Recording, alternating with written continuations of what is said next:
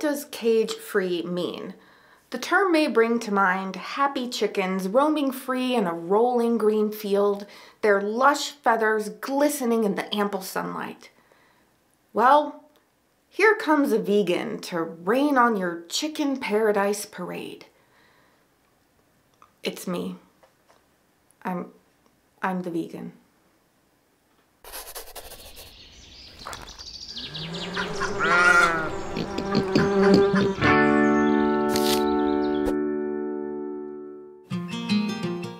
It's Emily from BitesizeVegan.org, where you can find free resources, e-courses, kids content, and a guided search to help you find just what you need, even if you don't know what to ask. Speaking of e-courses, this video has one of its very own, so you can test your knowledge after watching. For those of you watching this on BitesizeVegan.org, first of all, you're awesome. Just click the Take the e-course now button. For those of you watching elsewhere, just head over to bitesizevegan.org slash cagefree, where you will also find all of the sources for this video. And there are a lot, because I'm a nerd. Before diving into the meaning of cage-free eggs, it's important to acknowledge that the vast majority of the world's almost 8 billion layer hens are still kept in battery cages, one of the most intense forms of confinement in the animal products industry. Crammed together in these small, barren cages, each individual hen is afforded less space than a single sheet of paper, unable to extend their wings or even stand fully upright. Denied the ability to engage in natural behaviors such as foraging, wing flapping, perching, dust bathing, and nesting, hens in battery cages experience extreme distress, manifesting in neurotic behavior, feather loss, aggression, and even cannibalism. These hens live in constant pain, often suffering from osteoporosis due to the combination of nutrient loss from high egg production and a severe lack of movement. Rising public concern over the last four decades regarding the horrific conditions of battery cages has led to increasing demands for alternative systems. Now, a total ban on barren battery cages sounds like a huge move in the right direction, right? Well, in 1999, the Council of the European Union set a directive that banned all barren battery cages by 2012. While the media coverage at the time focused on the end of battery cages in the EU, what the directive actually did was replace barren battery cages with enriched, meaning furnished, battery cages. Yes, hens would now be provided more space and given furnishings like perches and laying nests, certainly an improvement over barren cages. However, while reports extolled that hens would now each be afforded 750 square centimeters rather than the 550 square centimeters in conventional battery cages, they neglected to clarify that due to the new furnishings, only 600 square centimeters would be usable, meaning in the end, that this revolutionary step forward for the rights of laying hens granted them less than a single playing card of additional space. Even more maddening, in 2012, over 12 years after the directive, 13 member states had still failed to comply with the ban. The 1999 Council directive addressed more than an eventual end to barren battery cages in favor of enriched cages. It also introduced a third category, termed alternative systems. This umbrella term covered various non-cage systems, such as aviaries and barns, including what we commonly refer to as cage-free eggs. So what exactly does cage-free mean? In the simplest terms, cage-free means exactly what it sounds like. Laying hens are never caged. But the simplicity ends there, as the term cage-free primarily defines how hens are not to be housed, the actual conditions under which cage-free hens are housed varies greatly. Standards are largely unspecified, unverified, and unregulated. In the US, the United States Department of Agriculture only specifies that cage-free eggs must be produced by hens housed in a building, room, or enclosure that allows for unlimited access to food and water and provides the freedom to roam the area during the laying cycle. Cage-free eggs graded by the USDA are subject to on-site inspections twice a year, purely to ensure the hens are not in cages. Additionally, not all cage-free eggs are graded by the USDA, so many cage-free labels do not have any verification at all that the hens they came from were not caged. In the European Union, while the term cage free doesn't seem to be widely used, non cage systems are required to not exceed nine laying hens per square meter of usable area. This affords each hen a little over a square foot of space. There are no such stocking density limits in the United States, among other countries. The separation between cage and non-cage farming is often completely non-existent. Many egg producers have both caged and cage-free facilities on the same property. Purchasing cage-free eggs is in no way supporting smaller independent farmers. That said, there is no denying that almost anything would be an improvement over life in a battery cage. However, as we've learned with the enriched cages, alternative systems aren't the idyllic environments we may envision. Cage-free hens are kept indoors, usually in windowless buildings. Each structure may contain thousands to tens of thousands of birds. This extreme overcrowding leaves some cage-free hens without much more room than battery cages,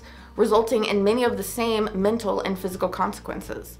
Additionally, cage-free hens are not spared the cruel standard practices of the egg industry as a whole. All hens are sourced from hatcheries, where male chicks are killed upon hatching. The primary method recommended by the European Union's humane regulations and implemented worldwide is maceration, a euphemistic term for dropping newborn male chicks into a meat grinder while alive. It's estimated that 3.2 billion male chicks are killed every year. Cage-free hens are still subjected to debeaking, a painful mutilation in which a portion of their sensitive beaks are cut or burned off.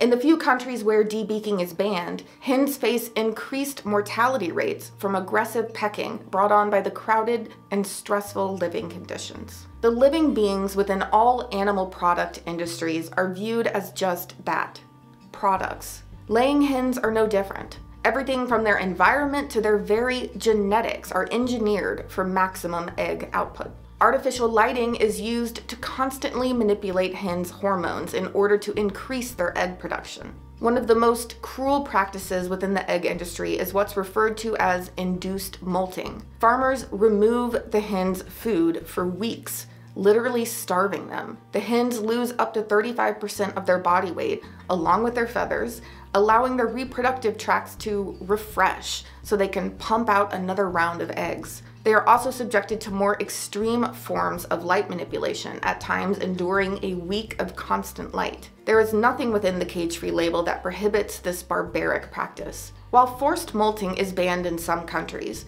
this simply means the hens are slaughtered after they are no longer profitable, a fate which awaits every layer hen. No matter the label, housing conditions, or country, all layer hens are killed when their egg production declines, typically when they are 70 to 80 weeks old. No longer able to turn a profit, they are sent to their deaths. Still mere babies themselves. In caged systems, hens can be more effectively separated from their waste.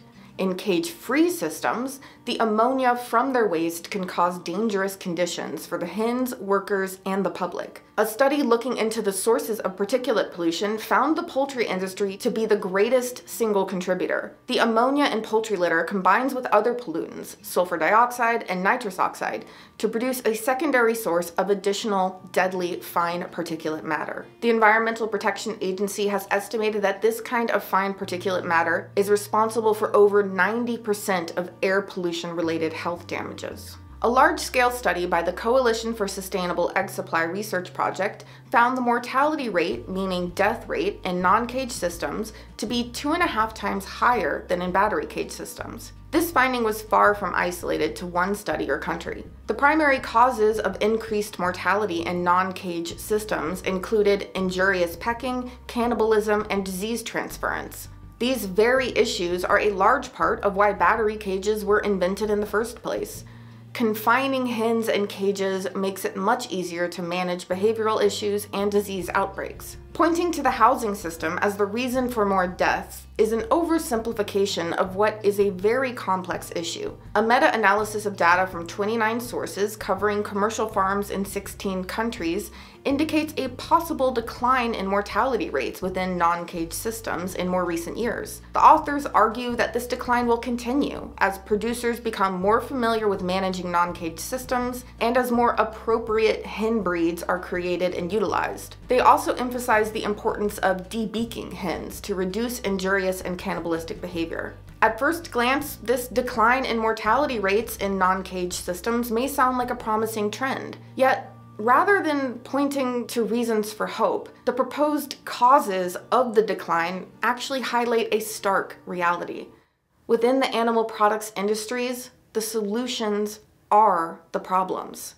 When hens injure and kill one another due to their breeding and living conditions, both of which have been imposed upon them, the solution is to cut off their beaks and further alter their breeding. Ian J. H. Duncan, Professor Emeritus and Emeritus Chair in Animal Welfare at the University of Guelph, Canada, illustrates this predicament, saying, If producers do not trim beaks, then feather pecking and cannibalism may cause enormous suffering. If they do trim beaks by conventional methods, the birds will suffer from acute and chronic pain. Chopping off parts of young animals in order to prevent future welfare problems is a very crude solution. Duncan proposes that, given feather pecking has hereditary characteristics, it therefore seems likely that the long-term solution to this problem will be a genetic one. While certainly less objectionable than debeaking on a visceral level, genetic manipulation of sentient beings to serve our purposes is not only extremely ethically problematic, but once again, what got us into this position in the first place. The animal products industries have honed these beings at a genetic level to meet specific demands and performance. Laying hens have traditionally been bred for producing as many eggs as possible in a caged environment. Place them into a cage-free environment and mortality skyrockets. So the solution to the problems inadvertently created by genetic manipulation is to further manipulate their genes. Every time our breeding, confinement, mutilation, and slaughter of non human animals invariably cause ethical, environmental, and health problems, we strive to solve them with different variations of breeding, confinement, mutilation, and slaughter. We continue this cycle over and over again, addressing problems of our own creation with solutions that will eventually become our next problem rather than stepping back and questioning our use of animals in the first place. Even if less hens die in one housing system than another, is that truly any indicator of their quality of life? As the authors of the meta analysis themselves poignantly state, put simply, what makes an animal suffer is not necessarily what kills them. There are mountains of research and governmental regulations you can read through regarding the welfare of laying hens around the world. What I've covered just touches the surface. But in the end, while I believe it's vital to know the truth behind humane claims, it's our use of animals, in and of itself, that's inhumane, no matter what label we give it. I hope this video has been helpful. Don't forget to take the free e-course to test your knowledge. To stay in the loop about new bite-sized vegan content and updates, subscribe to the newsletter or follow the Telegram channel for the most reliable notifications. Now go live vegan, and I'll see you soon.